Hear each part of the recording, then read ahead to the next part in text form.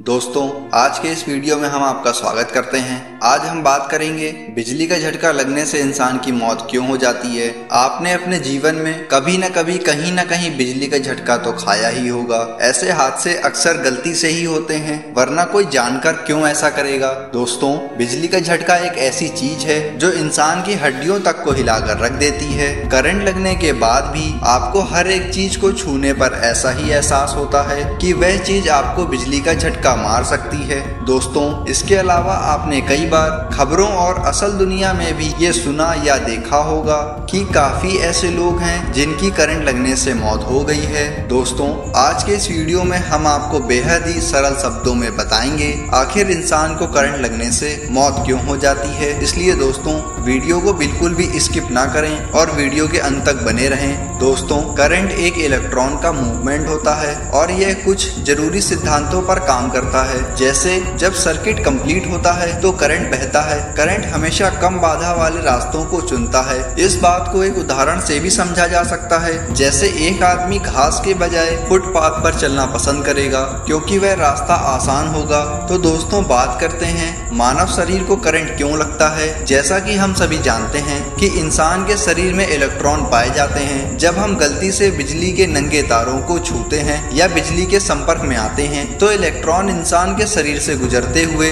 ज़मीन में चला जाता है और सर्किट कंप्लीट हो जाएगा, जिससे हमें करंट लग जाता है। दोस्तों, करंट लगने से मौत क्यों हो जाती है? आपकी जानकारी के लिए बता दें कि जब कोई इंसान बिजली के संपर्क में ज़्यादा देर तक रहता है, तब ऐसा होता है। इंसान के शरीर में पैंसठ से सत्तर परसेंट तक पानी होता है। जब किसी इंसान के शरीर को करंट लगता है तो यह पानी सूखने लगता है और पानी सूखने से हमारा खून गाढ़ा हो जाता है, जिससे यह शरीर के सारे अंगों तक नहीं पहुँच पाता और इससे हमारा अंग काम करना बंद कर देता है और इंसान की मौत हो जाती है। दोस्तों, अब बात करते हैं, बिजली का झटका लगने पर हमें क्या उपाय करने चाहिए? तो आइए ये भी जान लेते हैं, किसी भी व्यक्ति को करंट लगने पर लकड़ी से उसे अलग करें। बिजली का झटका लगने से मौत हो सकती है, परंतु छोटे मोटे मामले तो आए दिन होते रहते हैं और हमने कभी न कभी इसका बिजली का हल्का झटका लगने का अनुभव ज़रूर किया है। दोस्तों 25 वोल्ट से ज़्यादा का करंट मानव शरीर के लिए घातक सिद्ध हो सकता है।